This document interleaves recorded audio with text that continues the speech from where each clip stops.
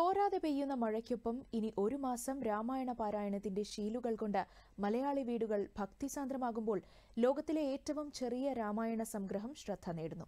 തൃശൂർ പുറനാട്ടുകര സ്വദേശിയായ ആറ്റൂർ സന്തോഷ് കുമാറാണ് അഞ്ച് മില്ലിമീറ്റർ നീളവും അഞ്ച് മില്ലിമീറ്റർ വീതിയും മാത്രമുള്ള സൂക്ഷ്മ സംക്ഷിപ്ത രാമായണം ഒരുക്കിയിരിക്കുന്നത്. ഒരു റിപ്പോർട്ട് കാണാം. വാത്മീകി രാമായണത്തെ അടിസ്ഥാനമാക്കി മലയാള ഭാഷയിലെ ആ മുതൽ റാ വരെയുള്ള അക്ഷരമാല ക്രമത്തിലാണ് സൂക്ഷ്മ രാമായണത്തിന്റെ ആദ്യത്തെ അൻപത്തൊന്ന് പേജുകൾ തയ്യാറാക്കിയിട്ടുള്ളത്.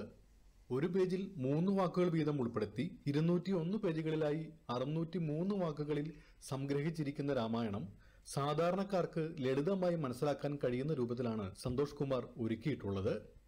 നമ്മുടെ പൈതൃകമായിട്ടുള്ള വാത്മീകി രാമായണം ഇതിഹാസ കാവ്യമായിട്ടുള്ള വാത്മീകി രാമായണത്തെ സംക്ഷിപ്തമായിട്ട് ചുരുക്കി എന്തുകൊണ്ട് ചെയ്തുകൂടാ എന്നുള്ളൊരു ആശയത്തിന്റെ പുറത്താണ് ഈ ഒരു കൊച്ചു പുസ്തകം തയ്യാറാക്കാൻ ഇടയാക്കിയത്. ഇതിൽ ആ റാ എന്ന് പറയുമ്പോൾ അക്ഷരമലയാളത്തിൽ അയോധ്യ ആനന്ദം നിറഞ്ഞ നിമിഷം അത്തരം സവിശേഷകരവും സന്തോഷകരവുമായിട്ടുള്ള ഒരു വരികളിലൂടെയാണ് ഇതിന്റെ യാത്ര തുടങ്ങിയിട്ടുള്ളത്. ഗദ്യസാഹിത്യമാണ് മൂന്ന് വർഷമെടുത്ത് തയ്യാറാക്കിയ ഈ രാമായണം ലെൻസ് ഉപയോഗിച്ച് മാത്രമേ വായിക്കാൻ കഴിയൂ.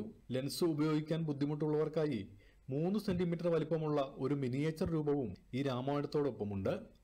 രാമായണത്തിന്റെ പ്രചാരണം കൂടി ഇതിന്റെ ഒരു ഭാഗമായിട്ട് വരുന്നുണ്ട്. രാമായണത്തെ അപഗ്രഥിച്ചുകൊണ്ട് രാമായണത്തെ വളരെ ആദരപൂർവം പ്രണമിച്ചുകൊണ്ട് അതിന്റെ പ്രത്യേകത ഉള്ള ഭാഗങ്ങളെ മാത്രം സംഗ്രഹിച്ചിട്ടാണ് ഓരോ പേജും തയ്യാറാക്കിയിട്ടുള്ളത്. സത്യം പറഞ്ഞു കഴിഞ്ഞാൽ ഈ പുസ്തകം വായിക്കുകയാണെങ്കിൽ രാമായണത്തിന്റെ ഒരു ഷോർട്ട് കട്ടായിട്ടാണ് ഇത് നമുക്ക് അനുഭവപ്പെടുക. ശ്രീരാമന്റെ ഇളയ സഹോദരനായ ശത്രുഘ്നന്റെ മനോവ്യാപാരങ്ങളിൽ കൂടി കടന്നു പോകുന്ന ശത്രുഘ്ന മൗനം എന്ന പുസ്തകത്തിന്റെ രചനാവേളയിലാണ് സന്തോഷ് കുമാർ സംക്ഷിപ്ത രാമായണം എന്ന ആശയത്തിലേക്ക് എത്തിച്ചേർന്നത്.